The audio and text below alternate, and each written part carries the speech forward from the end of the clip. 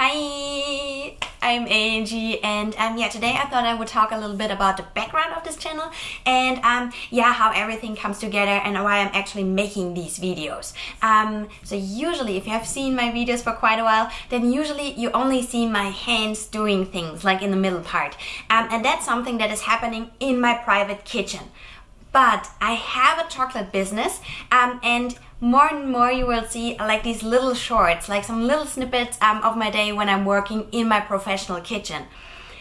I cannot make like any kind of tutorials or something in my professional kitchen because it would be way too expensive. I'm paying hourly, um, so um, everything you see me like DIYs and stuff is all happening at home in my kitchen behind me.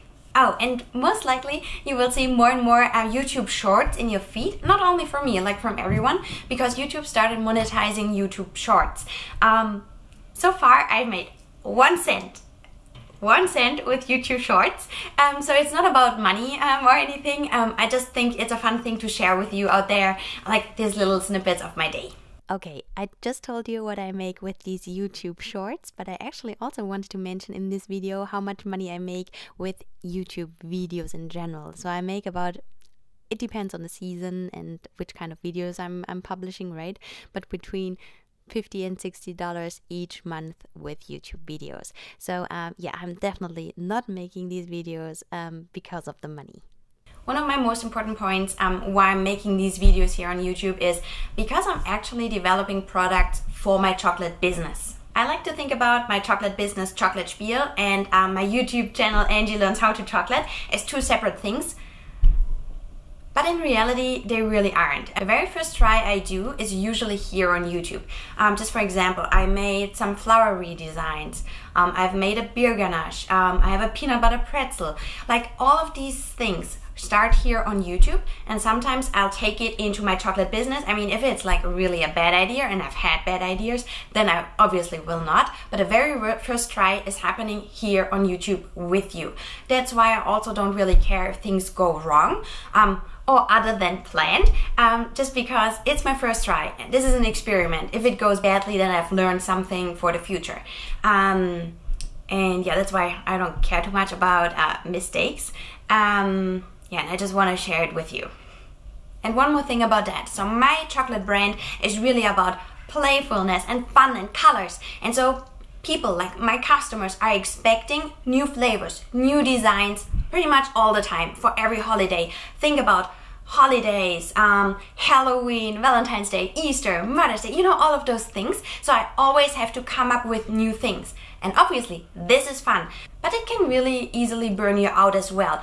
And so, um, with these YouTube videos, I'm kind of taking off the steam because I'm continuously trying things out and makes my life uh, a lot easier in that regard. Often you hear me saying at the end of a video, especially um, yeah, when I'm making fillings or recipes, that I should have added less sugar, more sugar, or maybe um, added some lemon or something like that. And that's because in my head, I'm already thinking about my second try. So don't think that I'm only trying things once. That's not how this goes. So I'm trying like my first attempt is here on YouTube, but then comes a second try, a third try, a fourth try. Um, yeah, so don't be frustrated if things are not working out your way. It just needs more tips. The second really big reason why I'm making these videos is this community here. It is so cool. I get to connect with people from around the world to talk about chocolate. How cool is that?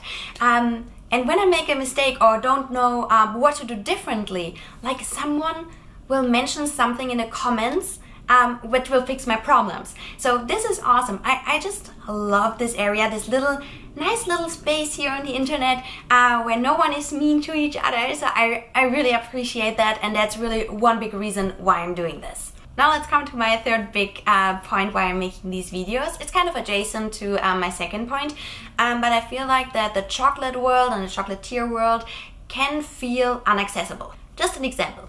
I like to watch baking shows, and there's usually a chocolate week. And then the contestants are always like, oh, chocolate is so finicky and it's so hard to work with.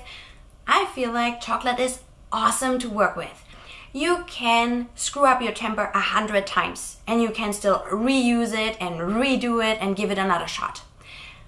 You can't burn it and you can't add water. I mean, then it's then it's gone. Then it's that. Um, but chocolate is so patient with you. You just have to respect your chocolate. It knows exactly what it needs. It needs the right temperature at the right time. Yeah, so I think it's just more about patience than anything else. What I'm trying to say here is that you can make beautiful bonbons or chocolate at home without any fancy equipment or expensive tools. You can totally do it. You just have to respect your chocolate yeah, and that's it. Um, those are the three reasons why I'm making YouTube videos. Um, I don't know if this was um, a helpful or interesting video of some sort, so let me know in the comments. Um, next time I will be back with something more chocolatey. I promise. See you soon. Bye.